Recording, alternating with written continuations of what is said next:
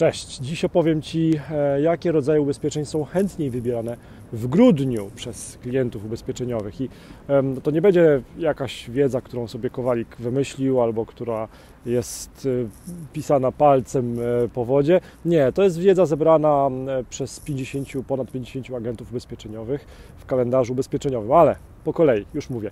W grudniu, według właśnie tej mądrości narodu, czyli według informacji zebranych od e, ponad 50 agentów ubezpieczeniowych w grudniu, najchętniej klienci końcowi e, decydują się na ubezpieczenia na życie, e, na IGZE i na pakiety komunikacyjne pod leasing.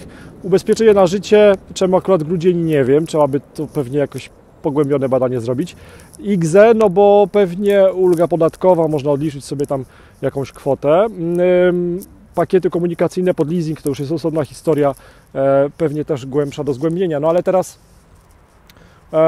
powstaje pytanie, co z tego, skoro już wiemy, że w grudniu właśnie e, te potrzeby ubezpieczeniowe są mocniej deklarowane, okazywane przez klientów końcowych, no to są dwie drogi, e, dzięki którym możesz wykorzystać na swój sukces, na, na swój zysk tą wiedzę. Po pierwsze, możesz więcej publikować w mediach społecznościowych materiałów dotyczących właśnie tego rodzaju ubezpieczeń. No i dzięki temu wyskoczysz na radarze tych Twoich potencjalnych klientów. Ta Twoja widownia zobaczy, że ok, e, faktycznie inni też kupują te rodzaje ubezpieczeń w tym czasie, to może ja też powinienem. No a druga, też proaktywna droga, bo zawsze staram się wspierać proaktywne działania, to jest to, że po prostu do swoich już istniejących klientów w tym czasie E, zadzwonisz, napiszesz SMS-a, napiszesz na Messengerze, bo Messenger jest już w tej chwili bardzo popularnym e, narzędziem do komunikacji. Na co dzień firmy e, i ludzie się tak komunikują. Czy też wyślesz maila z informacją: Halo, drogi kliencie, w grudniu zwykle moi klienci korzystają z tego rodzaju ubezpieczeń.